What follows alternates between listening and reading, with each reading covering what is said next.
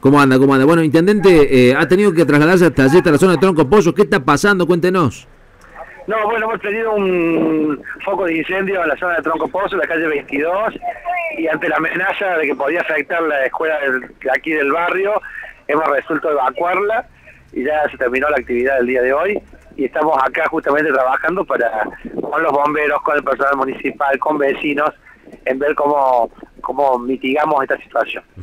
Eh, eh, ¿Las llamas siguen avanzando rápidamente, como nos decía Paola Nanini hace un ratito? El tiempo no acompaña, se ha extendido, están trabajando los bomberos, personal municipal, buscando justamente eh, solucionar esto, pero también tenemos otros focos en otros rincones de zona rural, así que es un momento bastante crítico, le pedimos a toda la gente máxima atención, colaboración y que obedezcan todas la- las indicaciones que demos de Defensa Civil de la Municipalidad. ¿A cuánto está el fuego de la escuela eh, Mariano Moreno? y no- de- por el humo hay mucho humo, ahora se ha, eh, ha bajado bastante, pero estábamos en algún momento cerca de 500 metros, Ah. por eso eh, tenemos que tener toda la precaución y todo el cuidado. No, y le pedimos a la gente que no vayan los curiosos a molestar allí el tránsito, ¿no?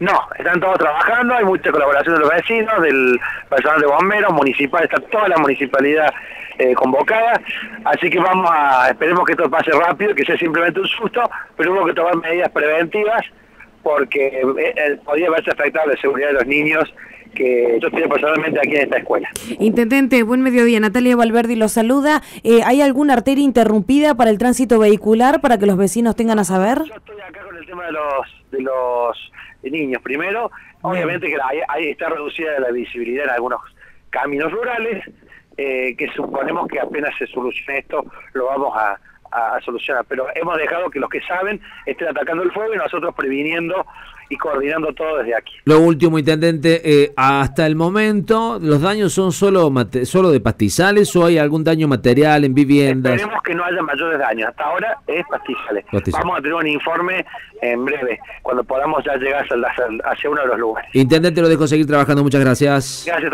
Ahí está, en Colonia Carolla, el intendente Gustavo Brandana haciéndose cargo de esta evacuación preventiva de la